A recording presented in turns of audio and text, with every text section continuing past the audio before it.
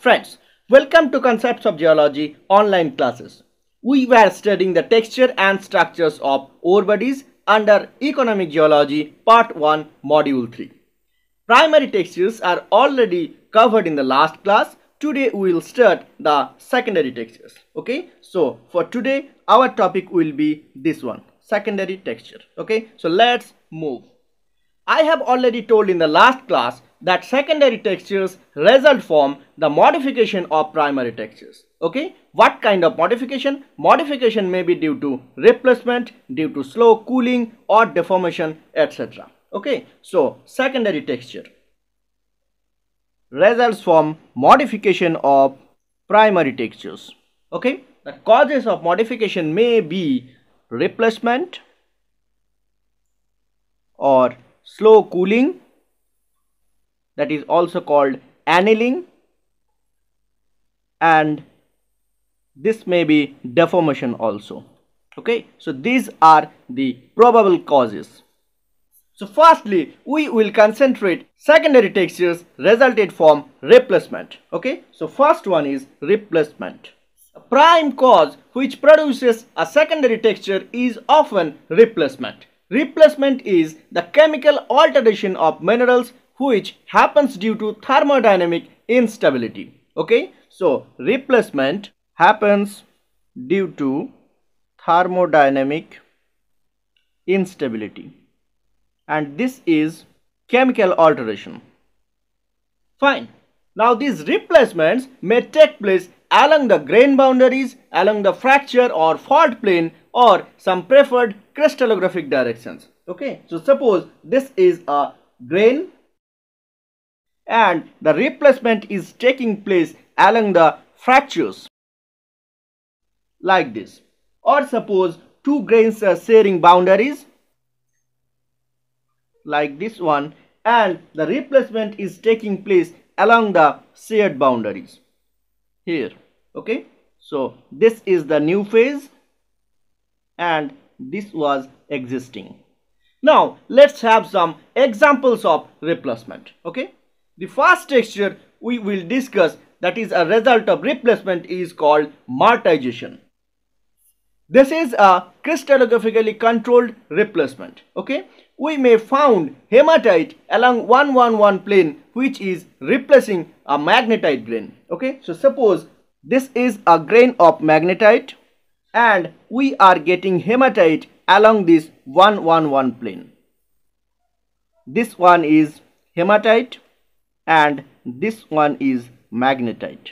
So finally martization is crystallographically controlled replacement of magnetite by hematite along 111 plane. Okay and this kind of grains found under microscope they are called martite. Now the second example of replacement texture is atoll texture okay? What is this? This is a compositionally controlled replacement okay? Suppose in a intergrown crystal or in a compositionally zoned crystal a particular phase is replaced by an another phase while the other phases are remain unchanged okay? So this texture is called atoll texture. So this is compositionally controlled replacement of any particular phase in a zone crystal or intergrown crystal. You may take an example from a zone crystal where the core is composed of pyrite and this is getting replaced by cobaltite. Okay, so suppose this is the zone crystal.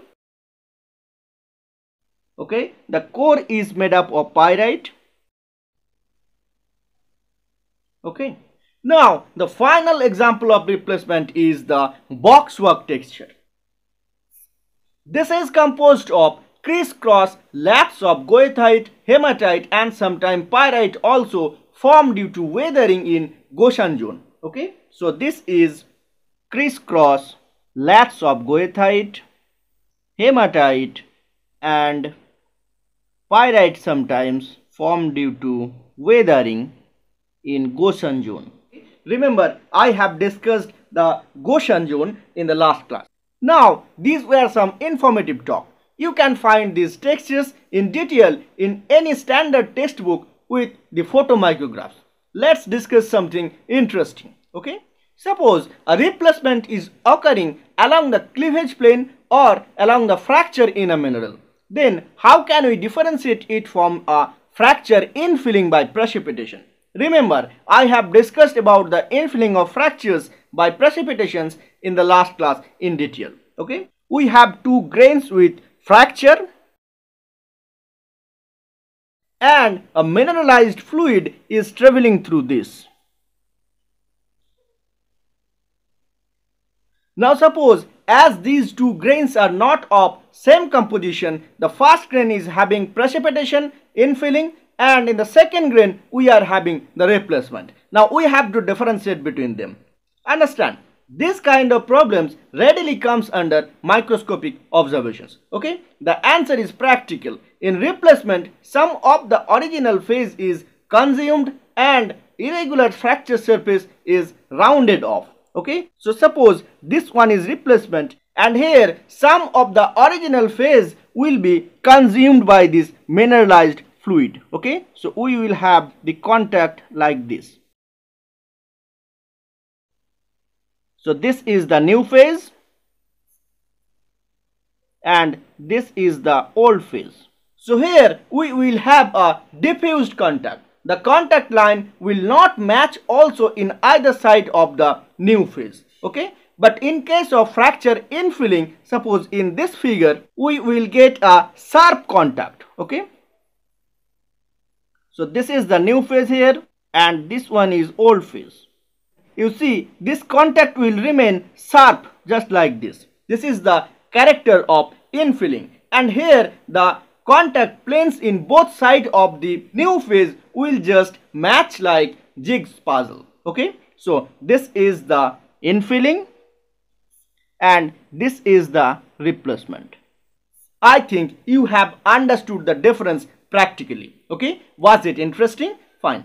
Now let's back to the main topic. The next factor which can modify a primary texture is called cooling. Okay, slow cooling or annealing.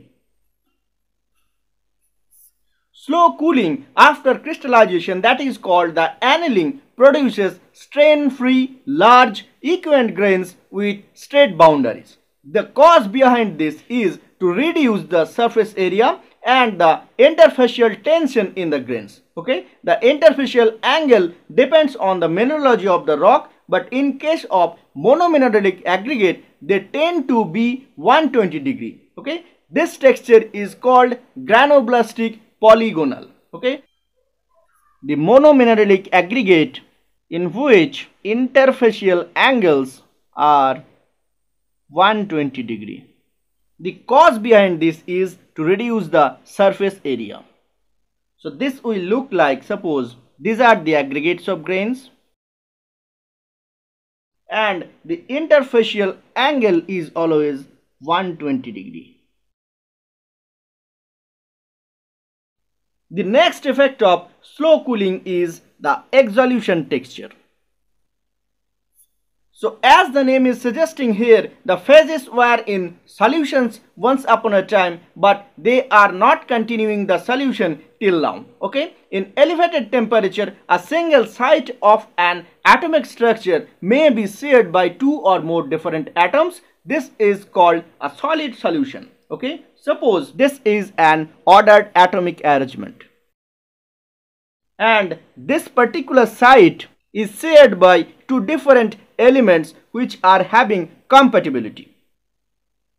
For example, suppose iron and magnesium. Okay. As this is happening in a solid state, so this is called a solid solution. Okay. But in some cases, when the system is cooled, then it may become unstable okay then these elements form their separate phases and occur in a single grain as exsolution lamellae this is a large magnetite grain and you will find ilmenite like this. One another example is a randomly dispersed or crystallographically oriented rods and blades of sphalerite are often found in chalcopyrite grain. This texture is called chalcopyrite disease.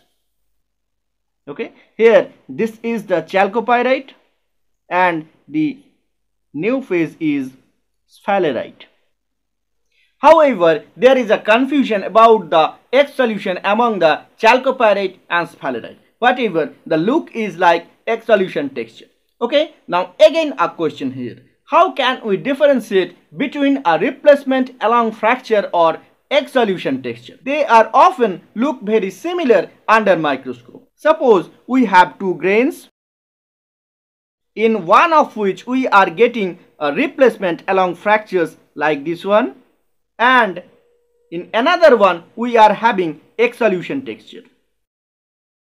So how we can differentiate between them? Okay. Here the way is in replacement where the fractures intersect there the volume of the secondary phase increases. Okay. But in case of an exsolution texture we normally get depletion zones in the intersection point of two lamellae. Okay. So here we will found depletion. So this will be an exsolution texture and this will be replacement texture.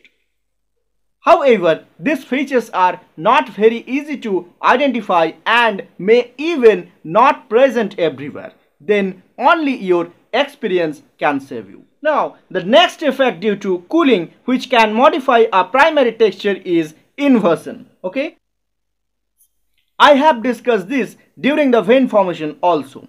Inversion means the interchange between polymorphs. Often the structure of high temperature polymorph is preserved after the inversion. They are called paramorph. Okay. Due to this inversion upon cooling, when marcasite changes to pyrite, a volume reduction up to 2.6% may occur. Okay. So this will create a small pore in rock. This is called secondary porosity. Okay, so these were some textures of slow cooling or annealing. Now we will move to the third factor that was deformation. Okay, deformation may produce twinning, kink banding or pressure solution in mineral grains. Deformation twinning occurs due to disturbance in atomic arrangement. For example, suppose polysynthetic twin in pyrrhotite. Kink banding you know from metamorphic petrology. This is a kind of microfolding. We will discuss it in structural geology or metamorphic petrology in detail. Okay, so this is a kind of microfolding. And the pressure solution is the dissolvement of minerals in an area of high stress and deposition in the area of low stress. Suppose this is a grain, okay, and I am providing pressure from this direction. So the mineral here will be dissolved and this will be deposited here. These are often found in terms of overgrowth. The pre-existing linear features in minerals like cleavages also may be deformed under stress okay for example triangular cleavage pit formed due to deformation is very characteristic feature in galena okay now to special deformation features found in shear zones. Shear zones are areas of localized stress. The first one is the schlieren.